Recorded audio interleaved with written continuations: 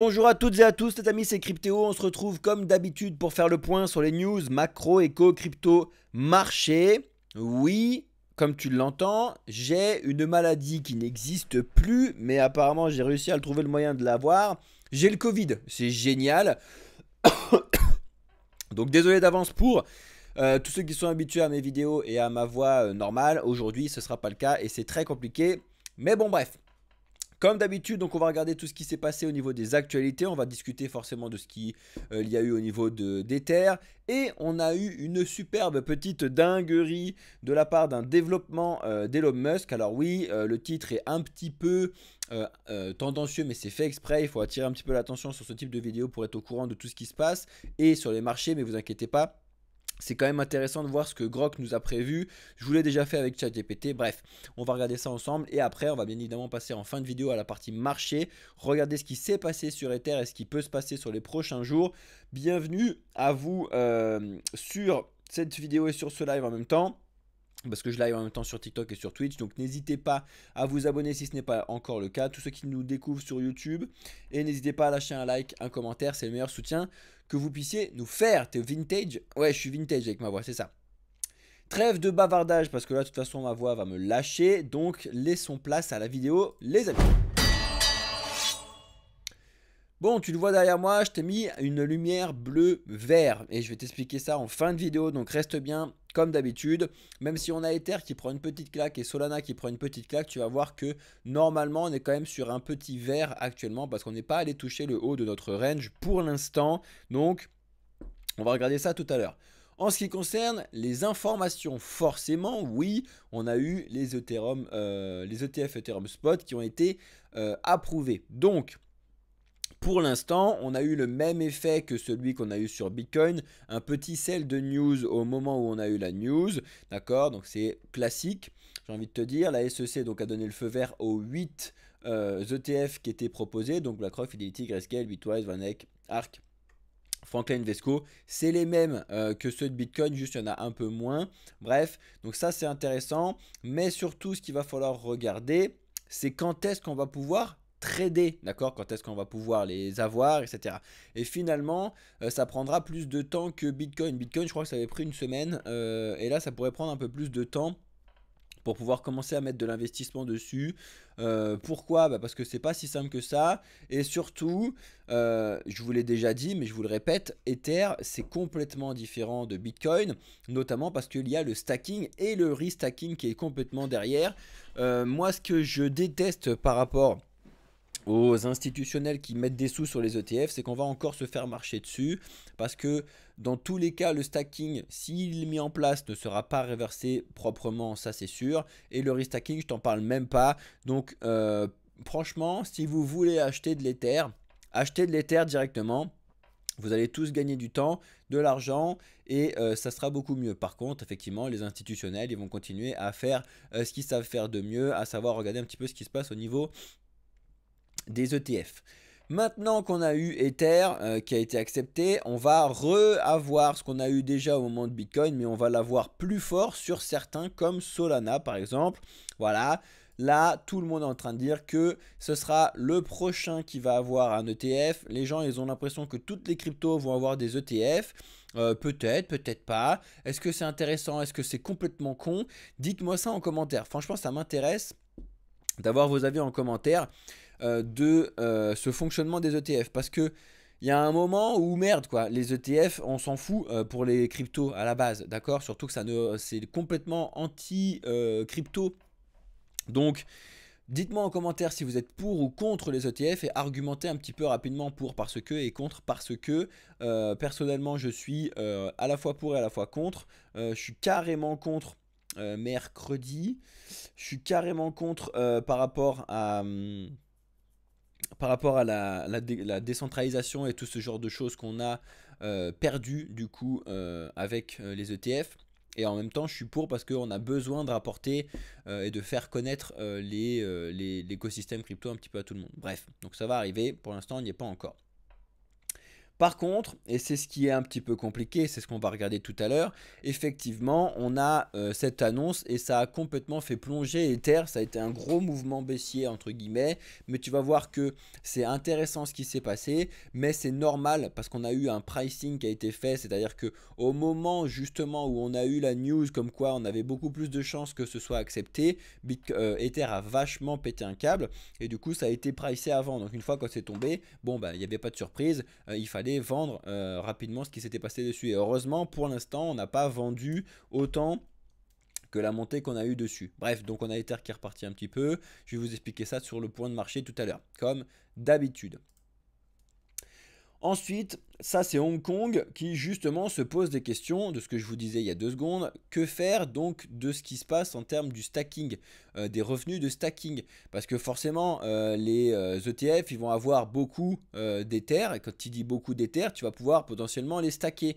Oui et non. je m'explique, c'est que les gens qui vont investir en ETF, d'accord Ils vont pas investir en stacking. Donc, il faut qu'ils puissent récupérer leurs Ethers. Sauf que si leurs Ethers, la plateforme de TF, les a bloqués pour 6 euh, mois, 9 mois, 1 an, que sais-je encore, eh ben c'est la merde.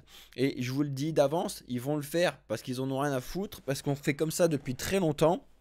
C'est-à-dire que vous croyez encore que les sous qui sont disponibles dans votre banque sont disponibles alors qu'ils ne le sont pas du tout. Mais en fait, ils partent tout le temps du principe que personne ne va retirer tout en même temps. Enfin, que tout le monde entier ne va pas retirer en même temps. Ils vont partir du même principe avec les ETF, avec les ETF Ether. D'ailleurs, ça pourrait être un problème euh, à l'avenir. Effectivement, si jamais tu as les ETF qui ont décidé de bloquer leurs Ethers en stacking et que les gens veulent récupérer leur thunes, euh, ça peut faire péter un câble aux gens parce qu'ils vont dire voilà, je vais récupérer, vous amuser avec mon argent, ils vont le comprendre peut-être de façon plus claire que ce qui se passe avec vos livrets A, etc. Donc c'est vraiment de très très grosses questions parce que du coup euh, c'est sûr qu'ils vont le faire le stacking parce qu'ils ont envie de gagner de la thune ils sont euh, les ETF hein. il y a des frais partout ils veulent gagner de la thune et en plus bref donc on verra bien comment ça va se passer pour l'instant, c'est gros questionnement à Hong Kong. Ça va être la même question aux États-Unis, une fois que ce sera bien évidemment lancé. Alors ça, c'était un petit sujet avec lequel j'ai discuté rapidement avec les premiums pendant le cours qu'on a fait hier. Euh, je vous ai parlé du sharding rapidement. Euh, il y a plusieurs cours, plusieurs euh, explications de ce qui se passe au niveau du sharding. Et là, c'est très intéressant de lire l'article euh, qui a été fait par Vitalik Buterin qui compare les roll-up et le sharding. D'accord? C'est vraiment important. C'est pas très compliqué, c'est un petit peu technique, mais c'est pas, pas, euh, pas, pas compliqué. Vraiment, regardez comment ça fonctionne et c'est important de le comprendre pour pouvoir euh, à l'avenir quand vous voyez des projets euh, qui vont se développer plutôt sur du sharding, plutôt sur du roll-up, plutôt sur des zero knowledge, etc. Comme ça, au moins, vous allez comprendre les technologies. Et si vous, à l'avance, vous savez plus ou moins quelle est la meilleure en fonction de telle chose, vous allez pouvoir investir de façon plus logique euh, par la suite. Et ça, c'est vraiment hyper important. En France, vous le savez, c'est un giga bordel euh, au niveau de, l'argent. Euh, actuellement, euh, la dette française, c'est une catastrophe. La gestion de la dette française est catastrophique. Déjà, dans les dans les autres mondes, c'est pas bon, mais en France, c'est encore pire.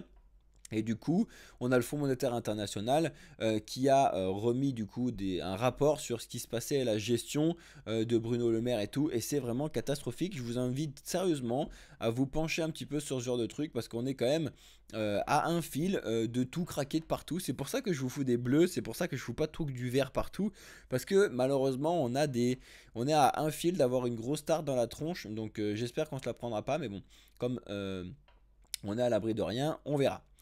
On a, euh, c'est JP Morgan, je crois, euh, ou Morgan Stanley, je sais plus. Bref, les analystes d'une des deux, l'une des deux plus grosses banques là, qui expliquent que les cryptos ne détrôneront jamais le dollar. Alors euh, moi, selon eux, à leur place, je me tairai 5 minutes parce que déjà, le dollar, il est en grande difficulté. C'est même pas à cause des cryptos, c'est à cause des BRICS, c'est à cause de la Chine, c'est à cause de pas mal de choses actuellement. Donc, les cryptos au milieu de tout ça. Voilà, on verra. Mais en tout cas, on a besoin d'avoir une monnaie mondiale qui ne soit pas rattachée à un pays et à un gouvernement. C'est un réel besoin parce que on ne doit pas être dépendant euh, d'une euh, certaine réglementation et d'une certaine gestion monétaire ou quoi au caisse, au moins euh, macroéconomiquement. Après, microéconomiquement sur l'état d'un pays, etc., qui est de la gestion, en vrai, peut-être, pourquoi pas, mais bon, vous savez un petit peu mon avis sur la centralisation, mais au moins mondialement, il faut avoir quelque chose qu'on peut échanger mondialement, macroéconomiquement, entre les banques, même pourquoi pas, qui soit décentralisé de n'importe quel gouvernement. Donc, on verra bien ce qui va se passer, mais pour l'instant, on en est encore très très loin. Regardez ce graphique qui montre euh, que les mineurs sont en très grande difficulté à l'heure actuelle et euh, c'est pas bon signe du tout. C'est-à-dire que souvent, quand, on a eu des difficultés des mineurs, les mois après étaient euh, assez compliqués. on a eu du coup en 2021 la chance, entre guillemets, où on avait eu une nouvelle hype sur les cryptos qui avaient relancé après la giga grosse perte des mineurs et c'était reparti en deuxième pic. Mais après, en général, c'est compliqué. Donc encore une fois, bien évidemment, je n'ai pas de boule de cristal, vous le savez très très bien, mais ce sont des points qui sont importants et réellement importants de comprendre et de savoir analyser. Parce que oui, certes, on est dans le vert. Je vous ai dit que pour l'instant, il y a un petit vert derrière parce que les signes sont plutôt à aller retourner au, haut du range, donc aux alentours des 73 000. Mais on n'est pas vraiment du tout à l'abri de se taper une grosse cassage de tronche très très bas. Parce que justement, euh, quand les mineurs ils reperdent comme ça, on l'a pas vu du coup historiquement parlant en deux secondes repartir quoi. Donc ça serait très très étonnant que on repart très très fort à la hausse par rapport à ce qu'on a déjà eu. En attendant, compliqué pour moi. Hein. On verra comment ça va se passer. Après, on va approcher doucement du mois de juin et après de l'été où en général c'est un peu plus calme. Après dans l'écosystème crypto, on a eu 2-3 dingueries hein, sur certains mois, notamment le mois de juin avec Luna, etc. Donc affaire à suivre. Mais on est à un fil sur pas mal de choses au niveau de la macroéconomie. Donc il faut vraiment faire attention à tout ça on a une coalition excès assez euh, intéressante, j'ai envie de dire, ou bizarre, de Meta, Coinbase, Ripple, Kraken et d'autres encore qui veulent lutter contre le type de, big, de pig butchering. Alors, c'est un type d'arnaque qu'on a déjà vu beaucoup de fois euh, chez certains abonnés. Effectivement, le pig butchering, donc c'est le l'engrossissement des cochons entre guillemets, et c'est l'arnaque émotionnelle sur le long terme. Donc en fait, c'est des gens qui vont venir vous contacter de la part d'autres en général. Il y en a déjà qui l'ont fait avec notre nom, d'accord? Mais vous allez voir qu'ils ont une faute dessus sur les réseaux, etc. C'est pour ça qu'on ne vous contacte pas directement. J'ai encore vu, je sais pas si c'est toi Lana ou quoi, mais Lana, je sais que tu es là. J'adore euh, discuter avec toi et tout, mais ne me demande pas en ami sur Discord parce que j'accepte pas les trucs de demande d'amis parce que justement il y a trop d'arnaques. Il y en a eu encore beaucoup trop. On a encore quelqu'un qui est venu sur le Discord euh, qui s'est fait arnaquer 5000 euh, euros, les amis. Ça me fait mal au cœur de voir euh, des gens de la communauté qui se font arnaquer 5000 euros. On fait que de vous mettre en garde. Arrêtez de croire que l'argent peut tomber du ciel. Peu importe qui vous en parle, c'est c'est flippant, s'il vous plaît. Si quelqu'un vous dit, ouais, t'inquiète, je te promets de l'argent qui va tomber, ça sent la merde. Si ça sent la merde, je vous l'ai déjà dit, c'est qu'il y a de la merde. Donc vous prenez ça, vous fuyez, s'il vous plaît. D'accord? Lana, si tu veux qu'on discute, tu discutes, tu ouvres un ticket et tout, et on peut, on peut avancer sur euh, n'importe quel projet ou demande que tu as. Mais en tant que sur mon compte à moi, faites attention, il y a plein en plus de faux comptes à moi ou de faux comptes Discord à Alex qui tournent de partout avec ma photo, mon truc et tout. C'est pas moi, d'accord? Vraiment, faites attention. Faites attention. T'inquiète, Nana, c'est pas pour te prendre un exemple. Hein. Je sais qu'il n'y a, pas de problème, mais, mais, voilà. voilà la news que je vous ai mis. Alors, c'est pas directement Elon Musk, mais c'est Grok en fait, parce que il y a souvent ce type de. On lance, on s'amuse à lancer l'intelligence artificielle sur quels sont le meilleur portefeuille, quels sont les meilleurs projets de crypto, qu'est-ce qu'il y a un peu à faire. Et là, pour le coup, autant ChatGPT, il avait dit complètement de la merde euh, il y a euh, lundi, je crois que je vous l'ai dit. Allez regarder la vidéo. Autant là, Grok, donc d'Elon Musk, il a dit quelque chose d'à peu près cohérent. Alors je dis à peu près cohérent. Le problème que j'ai avec les intelligences artificielles, forcément, c'est que c'est une intelligence artificielle et donc elle ne peut pas avoir le recul d'un être humain sur pas mal de choses, elle ne peut pas avoir de feeling, elle ne peut pas avoir de trucs, donc c'est très pragmatique sur ce qui se passe, et du coup forcément, en fait, ça va obligatoirement se tromper. Bref, encore que là, ça a fait quelque chose d'à peu près logique, mais tu regardes qu'en fait, c'est très court terme comme analyse. C'est-à-dire que là, ça a foutu Ether en premier, justement parce qu'il y avait énormément de spéculation sur euh, les ETF Ethereum spot. Après, ça met Bitcoin, donc c'est pas complètement débile, d'accord? Donc c'est 35% et 35%, c'est pas complètement débile, débile pardon. Même si c'est mieux d'inverser et plutôt de mettre du 40-30 euh, sur euh, Bitcoin et sur Ether, encore qu'il y en a beaucoup qui se posent des questions. Après Solana, bon bah voilà, c'est parce qu'il y a beaucoup d'engagement Solana sur les réseaux et comme les intelligences artificielles se basent aussi là-dessus, ils proposent de mettre 10%.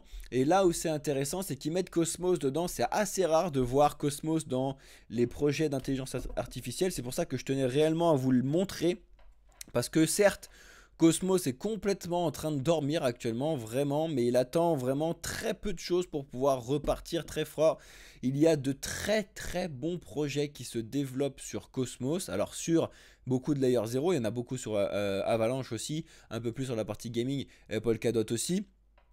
Mais il faut vraiment surveiller de très très près tout ça. Et après, ce qui est aussi étonnant par contre, qu'ils nous mettent ça, c'est là où il y a quand même un minimum de recul, c'est qu'ils nous disent quand même de mettre Cardano euh, dedans, alors que Cardano il se passe plus rien du tout. Et là, vous allez voir sur le point de marché tout à l'heure, euh, Cardano il est plutôt en train de respirer carrément. Et il y en a même certains qui disent que c'est une crypto qui dort, etc. C'est pareil, Cardano, euh, du jour au lendemain, si leur projet Hydra il sort et il fonctionne, Cardano va tout exploser, obligatoirement. Par contre, c'est un risque à prendre. Il y a beaucoup d'études de, d'études de à prendre, des amis, hein, sur le flux, sur, je vous l'ai déjà expliqué, etc. etc. Tous ces points-là, si vous voulez les voir en détail ensemble, je vous invite réellement à aller prendre le euh, premium qui est disponible directement sur notre site internet si vous voulez payer en carte ou sinon vous pouvez venir payer en crypto directement sur notre Discord. Désolé, il faut que je m'hydrate parce que là c'est compliqué. Ensuite, le trading de XRP est de nouveau de retour à euh, New York. Effectivement, je ne sais pas si vous vous en souveniez, mais on avait eu l'interdiction, ou du moins le délistage de Coinbase de, la, XRP euh, l'année dernière, au moment du, du procès. Et eh bien ça y est, c'est de retour. Donc c'est encore une fois un gros point gagnant pour XRP. On verra bien comment ça se passe par la suite, mais XRP a potentiellement enfin compris comment il pouvait remonter sur certains points. Bon, alors là, il peut rien faire, c'est euh, eux, euh, ça c'est de la chance, mais c'est surtout la coalition qu'ils ont fait avec Algorand et HBAR qui est très très intelligente. Et je vous ai dit, je pense qu'à l'avenir, il va y avoir de plus en plus de projets qui sont sur le même dossier qui vont se regrouper pour être plus forts. On l'a vu, on est en train de le voir avec donc le ASI, donc de euh, Fetch, euh, de Agix et donc de Ocean. On est en train de le... Alors là, c'est vraiment, vraiment plus que... Voilà. On est en train de voir avec la coalition Algorand, Ripple, euh, HBAR. Et on, ça, ça va vraiment faire, ça peut être qu'une force, d'accord? Certes, on a besoin de concurrence, ça oui, mais ça fait quand même une très très belle force. Et il faut pas l'oublier et pas négliger non plus. C'est aussi le retour du coup euh, des clubs sportifs qui rentrent un petit peu dans l'investissement euh, sur l'écosystème crypto. Vous le savez que pendant 2021, on a eu énormément de clubs sportifs euh, qui travaillaient avec des plateformes, qui travaillaient avec des projets. On le voyait sur les stades, je pense notamment à crypto.com, genre de projet qu'on avait vu un petit peu de partout. C'était passé complètement aux oubliettes et là ça revient petit à petit. Donc c'est aussi signe d'un nouvel engouement sur l'écosystème crypto très intéressant. On a Multiverix qui enfin dévoile son Sovereign Chain pour l'interopérabilité entre les blockchains. Voilà, donc c'est pareil.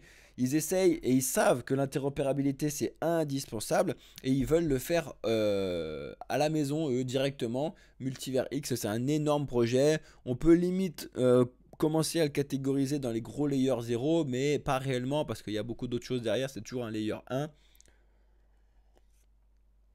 mais on peut le catégoriser dans les projets, euh, enfin dans les plateformes euh, de développement euh, qui ont plusieurs choses qui ne sont pas juste sur voilà, le GLD. Quoi. Il y a vraiment beaucoup de développement derrière parce qu'il y a beaucoup de personnes qui travaillent. Le Saul, alors ça je vous laisserai regarder si ça vous intéresse, le supplément d'âme que la défi attendait. Donc c'est un projet donc, qui s'appelle le Saul qui permet donc de faire du lending et du borrowing décentralisé. Donc il va falloir regarder un petit peu plus près comment ça fonctionne. Et ils sont construits sur le protocole Layer 0. Donc je vous ai dit ce type de projet en attend. Layer 0 hyper liquide. Euh, il va falloir surveiller ça de très très près. En attendant, L'idée est très bonne. Il va falloir voir si ça fonctionne bien et si c'est euh, euh, utilisable de façon euh, simple pour les gens, etc. Surtout pour la finance décentralisée. Mais c'est quelque chose d'important. Bref, en tout cas, si vous ne connaissez pas, ça mérite le, un petit coup d'œil. Après, comme d'habitude, votre investissement, vous faites bien évidemment ce que vous voulez. Ça, je vous en ai déjà parlé, et c'était justement la dinguerie euh, qui nous avait été communiquée par ChatGPT, comme quoi il fallait mettre je ne sais plus combien de pourcents dans Dodgeverse, alors que c'était même pas sorti. Alors ça y est, c'est bientôt la fin, ils viennent de lever 15 millions de dollars pour ça. Euh, c'est insane. Je vous rappelle, les amis, qu'on a toujours, nous, notre levée de fonds. Alors certes, on va pas faire un métavers euh, là-dessus, non, mais justement, je pense que nous, ce qu'on fait, et je le pense sincèrement, c'est bien plus important que ce qui se passe là-dessus. Parce que nous, on va prôner l'éducation, la compréhension et le conseil en investissement financier que euh, vous avez réellement besoin. Donc n'hésitez pas si vous voulez participer à tout ça. Vous avez donc notre levée de fonds qui est sur le site de Cryptown directement. Comme d'habitude, je tiens à vous le rappeler, si jamais ça ne va pas au bout, vous récupérez votre argent. Donc, il n'y a aucun risque, comme dirait l'autre. Donc, ça mérite au moins votre attention rapidement là-dessus. Et si jamais vous avez des questions, que vous pensez que ça ne fonctionne pas pour, X ou Y raison, qu'il y a euh, des points qui sont... Euh, négligé, euh, que le, business plan il est chelou ou quoi caisse, dites-le nous, vraiment, y a, on est ouvert à toute euh, discussion, c'est hyper important pour nous. Bref, donc Dodgeverge lève, lève 15 millions, ça avance un petit peu aussi de leur côté. On a Phantom qui lance Sonic avec la Sonic Chain et leur du coup nouveau token euh, S. L'idée donc c'est euh, toujours de construire sur Ether un petit peu en mode layer 2. On va voir comment ça fonctionne, mais en tout cas, Phantom essaye de regagner un petit peu euh, la vie des gens. Phantom, c'est un projet qui est là depuis très longtemps et qui avait eu un problème entre guillemets l'été dernier suite à un gros gros hack. J'ai toujours pas retrouvé le nom, c'était multi quelque chose. Bref, on s'en fout. Mais ils essayent de reconstruire ce qu'ils avaient beaucoup perdu. C'était bien remonté. En tout cas, il y a une grosse euh, famille euh, derrière euh, Phantom qui fait beaucoup de travail. Ça, ça a beaucoup bougé, mais c'est normal. les gens s'étonnent, mais en même temps, c'est complètement normal. 7% des Américains détenaient des cryptos en 2023. Pourquoi cette baisse? Bah, Tout simplement parce que c'était beaucoup plus compliqué 2022-2023. Parce qu'on avait 12%. Alors, c'est des chiffres qui sont tirés de je sais pas où. Parce qu'on est quand même très très loin d'avoir cette adoption-là. Je vous le dis directement. On est plutôt sur du 0,7. Hein on était sur du 0,12. Mais bon, bref. Euh, on est très très loin d'avoir une adoption massive, d'accord? Et c'est normal, parce que pour l'instant, c'est ce que je vous disais, les plateformes d'utilisation sont assez compliquées pour euh, monsieur et madame tout le monde. C'est pour ça qu'il y a besoin de projets comme le nôtre pour expliquer à monsieur et madame tout le monde comment ça fonctionne. D'accord? Parce que vous, ça vous paraît logique comment vous utilisez votre carte bleue et tout, mais n'oubliez pas qu'en fait c'est parce que vous avez été éduqué dessus. Sinon, si vous sortez d'une île déserte, je pense peut-être même que les cryptos ce serait plus simple à comprendre que notre système financier éclaté au sol. Bref.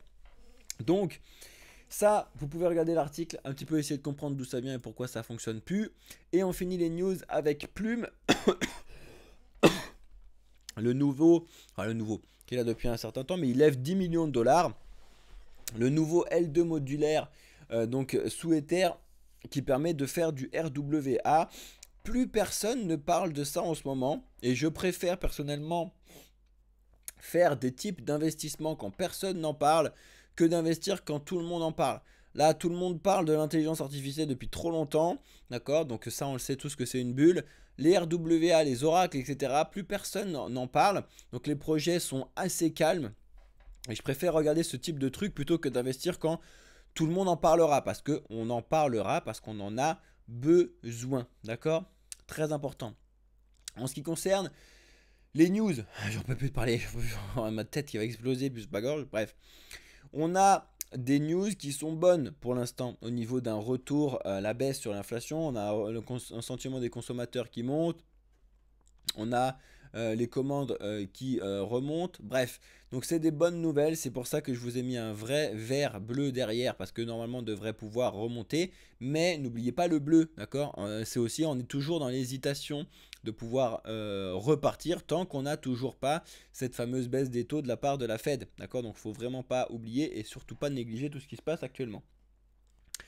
Donc, point de vue de marché. qui vous intéresse particulièrement. On va regarder, mais vous le voyez, on est quand même sur un rouge entre guillemets par rapport à hier 24 heures parce que c'est euh, une petite baisse qu'on a eu en type celle de news euh, sur Ether, mais on est quand même sur une belle semaine, on va pas se le cacher, on a fait une belle semaine sur l'écosystème crypto, d'accord? On est bien remonté. Et quand tu regardes sur la journée, certes, il y a quand même du rouge, mais il y a quand même des beaux verts. Après, le rouge, c'est parce qu'on a eu une respiration cet après-midi, mais ce matin, tout était dans le, dans le giga vert. Mais comme quoi, je vous l'ai déjà dit, on est toujours dans un vrai bleu aussi, parce qu'il ne faut pas négliger euh, tout ce qu'on a euh, en termes d'informations géopolitiques qui pour l'instant ne s'arrange toujours pas. C'est limite en train de s'empirer au niveau de Taïwan. Euh, si on continue à faire des micro-conflits partout comme ça, là on commence à en avoir une pelle. Hein. Ça serait le cinquième je crois, si jamais ça arrive. Bref, pas négliger tout ça les amis.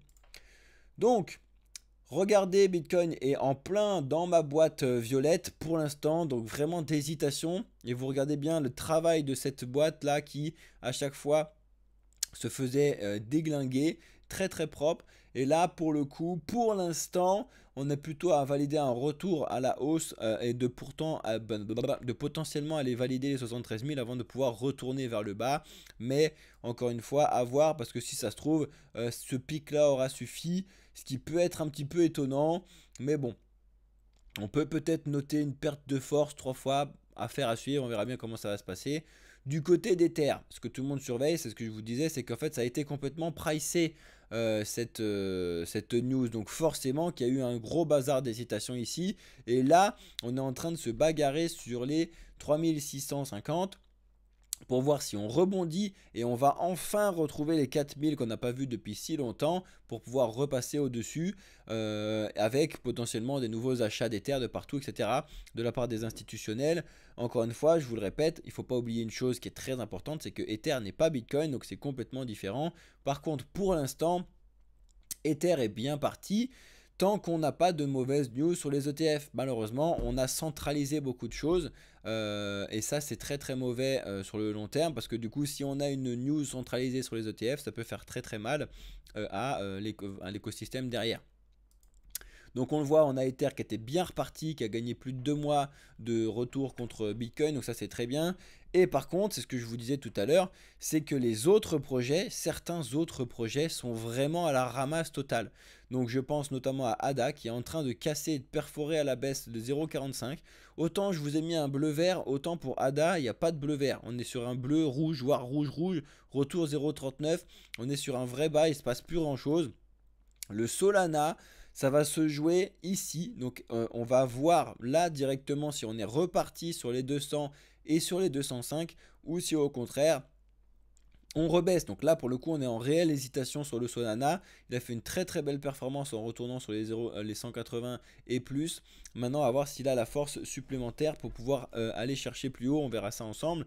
Le BNB, euh, j'ai rien à vous dire sur le BNB, si ce n'est que c'est le meilleur stablecoin pour l'instant. Il se passe rien sur le BNB et il se passera toujours rien sur le BNB tant qu'on n'a pas une avancée macroéconomique. Vous pouvez croire tout ce que vous voulez, décentralisé, pas décentralisé. Pour l'instant, euh, on attend les news macroéconomiques de savoir, euh, macro et euh, géopolitique, pardon, pour savoir si ça va bien avancer dans le bon sens et que let's go, tout, va ouvert, ou si on va d'abord aller très très bas avec une catastrophe pour pouvoir largement remonter après. Le XRP, il se passe rien du tout aussi, il n'y a rien à dire sur le XRP, voilà, c'est une catastrophe. Avalanche, eh ben, est plutôt en train de valider un rebond sur les 36, donc c'est potentiellement bon signe, mais il va falloir faire attention parce que euh, on a encore une fois les signes que je vous ai dit, et c'est surtout aussi parce qu'on a Atom qui est très en retard.